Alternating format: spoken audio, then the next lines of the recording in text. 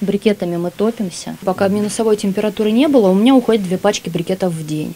Дом у нас почти 120 квадратов. Дина Захарова вникает в работу дровяной печи, которая будет отапливать ее дом всю зиму. Раньше этим занимался супруг, но осенью его мобилизовали. Папа уехал защищать нашу родину. 26 сентября его мобилизовали. Осталась я в частном доме одна с двумя детьми. Первоклассник, у меня ребенок старший, и годовасик. Ну, сама в декрете сейчас. Вот сейчас осваиваю все, все это, как это все делается. Доставка топлива в СНТ для семьи с маленькими детьми – дело непростое, и обратилась с просьбой о помощи к властям. К решению вопроса подключился Центр помощи семьям мобилизованных, созданный в городском округе по поручению губернатора Московской области. Четыре с половиной тонны топливных брикетов, запас на три месяца.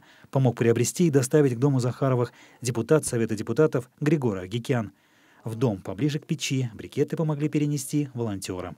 Куда нам? А, давайте вот сюда. Ребят, давайте поберем.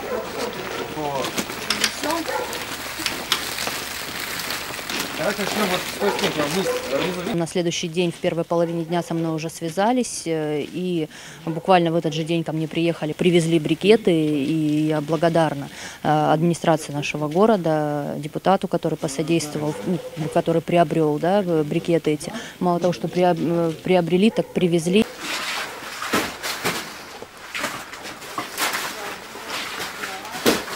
Мы работаем совместно с Центром поддержки семей мобилизованных. А, к нам поступают а, заявки а, абсолютно разные на приобретение продуктов, лекарств. Сегодня мы доставили брикеты для семьи, чтобы можно было отопить дом. И пока наши ребята находятся там на передовой, для молодежи сейчас первостепенная задача – это помочь семьям, которые остались здесь. Центр помощи семьям мобилизованных работает ежедневно, кроме воскресенья. Контактные телефоны вы видите на экране. Михаил Налетов, Сергей Василевский, Щелковское телевидение.